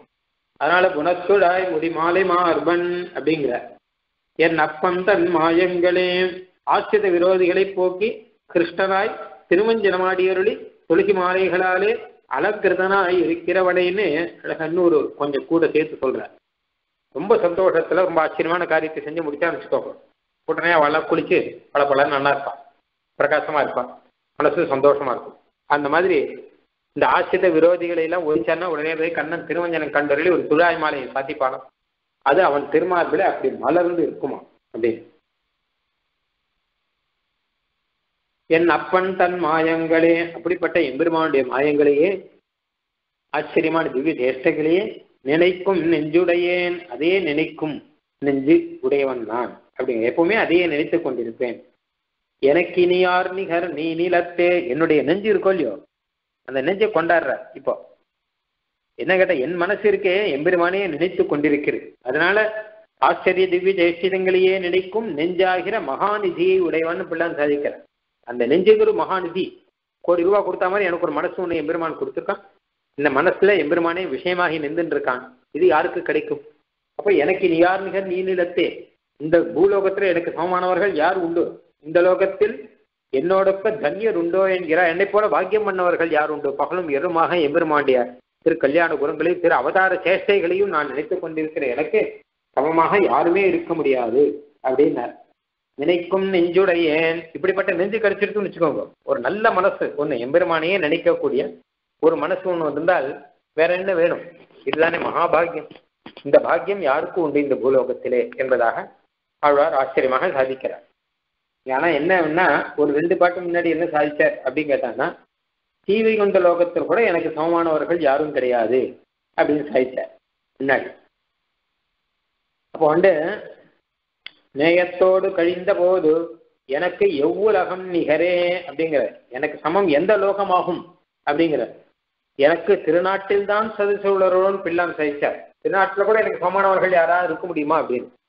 அப்போ சீவி கொண்ட லோகத்திலேயே இல்லைன்னு சொன்னப்புறம் மறுபடியும் இப்ப இந்த பாட்டில் சொல்லும்போது இந்த லோகத்தில் இருக்கிற நீ நிலத்தே அப்படின்னு நீண்டதான இந்த நிலத்திலே எனக்கு சமமானவர்கள் யார் உண்டோன்னு கேட்கிறார். ஈவிகின்ற லோகத்திலே எனக்கு சமமானவர் கிடையாதுன்னு சொல்லியாச்சு. மறுபடியும் இந்த லோகத்துல சமமானவர் உண்டோன்னு ஆழ்வார் ஏன்னு சொல்றார் அப்படின்னு கேட்டா அதுக்கு சாட்சா சுவாமி அழகா ஒரு வியாக்கியானம் பண்ணியிருக்கார். அப்படி இல்லை சீவைகுண்ட லோகத்துல எம்பெருமான அனுபவிக்கிறவா சகஜம் இல்லை ஆனால் இந்த லோகத்துல இந்த சம்சார லோகத்துல வந்து எம்பெருமான் கிருஷ்ணாவதார சேசிதைகளை அனுபவிக்கக்கூடியவர்கள் இருக்காளோ அவர்கள் அதிசயமானவர்கள். அவர்கள் சாதாரணமானவர் கிடையாது. ஸ்ரீகண்ட லோகத்தில் இருக்கிற காட்டில் இவர்கள் தான் கிரேட் ஏன்னு கேட்டால் அங்கே இருந்து பகவான் அனுபவிக்கிறது பெரிய விஷயம் இல்லையே. ஆனால் இந்த சம்சாரத்தில் இருள் தருமா ஞானத்தில் இருந்து பகவான் அனுபவிச்சுட்டு இருக்கா இல்லையா? அதனால இவர்கள் அவர்களை காட்டிலும் ரொம்ப உயர்ந்தவர்கள். ஆனால் இவர்கள் கூட எனக்கு சமம் கிடையாது என்பதாக சாதிக்கிறார். சின்ன சொல்ற ஞான வாரகம் இல்லாத சுத்த சத்துவமான தேசத்திலே இருந்து எம்பெருமானை அனுபவிப்பதில் காட்டில் இருள் தருமா ஞானத்திலிருந்து அனுபவிக்கையே அதிசயம். ஆகையாலே இங்கிருந்து அனுபவிப்பாரிலும் எனக்கு சதுசர் இல்லை என்கிறார். கூட எனக்கு சதசர் கிடையாது அப்படிங்கிற சரி இந்த லோகத்துல யாருமே ஆழ்வார் தனக்கு சமான யாரும் கிடையாது. தன்னளவு அனுபவம் யாருக்கும் இல்லை அப்படின்னு அந்த எண்ணத்துல சொல்றாரான்னா இது சொச்ச கிருதார்த்தானுசந்தானம் பண்ணுகிறபடி அப்படிங்கிறார். அதாவது நான் என்ன பாக்கியம் பண்ணேன் அப்படின்னு அந்த பாக்கியத்தை சொல்றது. அடியனுக்கு இருக்கக்கூடிய பாக்கியம் யாருக்கும் கிடையாது சுவாமி. இந்த சொல்லுவோம் இல்லையா? என்ன கேட்டார்னா ஒண்ணுமே இல்லாம அடியனுக்கு கூட இப்படி ஒரு பாக்கியம் கிடைச்சிருக்கே. எம்பெருவான அனுபவிக்கக்கூடிய ஒரு பரம பாக்கியம் கிடைச்சிருக்கே. அப்படின்னா வேற சீவிர லோகத்துல யார் வேணா என்ன வேணா அனுபவிக்கட்டும். ஒண்ணுமில்லாத அடியனுக்கு கூட இந்த பாக்கியம் கிடைச்சிருக்கு அப்படிங்கிற அர்த்தத்துல அந்த பாக்கியத்தை கொண்டாடும் போது இறக்கார்மிகர் நானிலத்தே அப்படிங்கிற. எம்பெருமானை எத்தனையோ விதமாக மகான்கள்ல நாம பார்த்துட்டு இருக்கும்போது ரொம்ப பெரியவாள்லாம் அனுபவிச்சுட்டு இருக்கார்கள். ஆனால் ரொம்ப ரொம்ப பெரியவர்கள் மகான்கள்லாம் அனுபவிக்கிறத காட்டிலும் சாதாரணமான நானும் அடியும் அனுபவிக்கும்படியாக இருக்கே அப்படின்னு நம்மளும் நினைச்சுக்கணும். அத எத்தனையோ பாசுரங்கள்னாலையும் எத்தனையோ ஸ்லோகங்கள்னாலையும் எத்தனையோ தியானங்கள்னாலையும் எத்தனையோ மந்திர ஜபங்கள்னாலையும் எத்தனையோ குணங்களை எடுத்து சொல்வதனாலும் மகான்கள்ல அனுபவிக்கலாம் ஆனா சாதாரணமானவர்கள் இந்த விஷயங்கள்லாம் தெரியாட்டா கூட கோயிலில் போய் எம்பெருமாண்டி திவ்ய சௌந்தரியத்தை நேராக போய் செவிச்சு அனுபவிக்கிறவர்கள் பரம பாக்கியமாக அதை நினைத்து கொண்டாடுவது உண்டு இல்லையா? அப்ப இன்னைக்கு என்ன ஆச்சரியமான சேவை அப்படின்னு கொண்டாடுவது உண்டு இல்லையா? அதனால அப்படியும் உண்டு. அந்த அதான் அவ பாக்கியத்துல எனக்கு சமம் யார் அப்படின்னு கூட சொல்லலாம். நான் எம்பெருமானையே சேவிக்கின்றிருக்கேன் இது அவரவர்கள் அவர்களுடைய பாக்கியத்தை கொண்டாடும்படியாக இருக்கக்கூடியது என்பதாக நாம் எடுத்துக்கொள்ள வேண்டும். அதனால இந்த விஷயத்தையும் இந்த வாசகத்திலே சாதிக்கலாம். எனக்கார் நிகர் நீ நிலத்தே என்பதாக. இங்கே அந்த ஸ்லோகத்திலே சுவாமி தேசியம் சாதிக்கும் போது ராசக்கிரீடாதி கிருத்தியைகி விவித முரளிகா வாதனேர்மல்லபங்கைகி கோபி பந்தார்கபாவாத் விரத ஜரணமுகைகி கம்ச தைத்தியாதி பங்கைகி प्रादुर्भावैर्निहीनेषु असुरभुजवनच्छेदमुख्यैः चरित्रैः ஆகர்ஷேத் சர்வசித்தம் ஹரிரிதி கதையாமா சகாரேரபத்தியம் நம்ம இன்னைக்கு பார்த்த பாசத்திலே கம்ச தைத்தியாதி பங்கைஹி அப்படின்னு ஒண்ணு இருக்கு கம்சன் அனுப்பிச்ச தைத்தியர்கள் இருக்கா இல்லையோ கம்ச தைத்தியன்னா கம்சனோட சம்பந்தப்பட்ட அசுரர்கள் இகழ்கொள் பிள்ளை பிளந்ததும் அப்படிங்கிறத அழகான அந்த கம்ச பிரேரித அப்படின்னு பிள்ளை சாய்ச்சதை வச்சு இது வந்திருக்கு அதாவது என்ன கேட்டா வெறும் பட்சியை போய் எம்பெருமான் வெறும் போய் எதுக்காக கொள்ளணும் கொள்ள வேண்டிய அவசியம் இல்லையா. பட்சியை எதுக்கு கொள்ளணும் ரிஷபத்தை எதுக்கு கொள்ளணும்னு கேட்டா இதெல்லாம் மொத்தம் விரோத பாவத்தோட வந்திருக்கு. கம்சன் தன்னுடைய பாவத்தை அதுல இன்ஜெக்ட் பண்ணி அதெல்லாம் அனுப்பிச்சுட்டான் நீங்களா போய் கொள்ளுங்கோ கொள்ளுங்கோ அப்படின்னு ஒரு துஷ்டங்கிழ வேலை பார்த்தா அவளுக்கும் அந்த பாவம் தானே வரும். வேற வழி இல்லை. அதனால அப்படிலாம் அனுப்பிச்சபடினால பகவான் சொன்னான் அப்படிங்கிறது கம்ச தைத்தியாதி பங்கை. கம்சன் அனுப்பிச்ச அசுரர்கள் முதலானவர்கள் எல்லாம் ஒழித்தபடினாலே அந்த சேஷ்டைகள். பிராதுர்பாவைர் நிகீனேஷு ரொம்ப மோசமான ஜாதியிலே எம்பெருமான் தான் பிறந்து. அப்படின்னு மனப்பறிப்போடு அழுக்க மானுட ஜாதியில் தான் பிறந்து அப்படின்னு சொன்னதை காமிக்கிறார் ரொம்ப நிகிதேஷு அப்படின்னா தேவர்கள் எல்லாம் கூட கீழே இறங்க மாட்டார்கள். அவர்கள் கூட ரொம்ப மோசமாக இதை நினைத்து கொண்டிருக்கிறார்கள். அங்கே வந்து எம்பெருமான் வந்து பிறந்தான் அப்படின்னு இந்த ஒரு பிராதுர்பாவைகிங்கிற அப்படின்னால பல அவதாரத்தை சொல்றேன் இங்க கிருஷ்ணாவதாரம் மாத்திரம் இல்லை. மனப்பறிப்போடு அழுக்க மானுட ஜாதியில் தான் பிறந்து அப்படின்னு ஸ்ரீ ராமாவதாரம் கிருஷ்ணாவதாரம் இந்த அவதாரங்கள்லாம் இந்த மாதிரி மனுஷ ஜாதியிலும் இன்னும் அதுக்கு கீழேயும் வந்து எம்பெருமான் எத்தனையோ பிறந்தருளி இருக்கான் அப்படிங்கிறத அங்க குறிப்பா வச்சுன்னு இருக்காராம் அதனால பிராதுர்பாவைகி நிகீனேஷு இந்த மாதிரியாக எம்பெருமான் அவதாரம் பண்ணபடியினாலேயும் எம்பெருமான் இந்த திவ்ய லீலைகள் மூலமாக எல்லாருடைய மனசையும் அவன் ஆக்கர்ஷணம் செய்கிறான் என்பதாக ஆழ்வார் சாதிக்கிறாராம். ஆழ்வார் எம்பெருமான் ஆர் தேசிகன் திருவடிகளே சரணம்.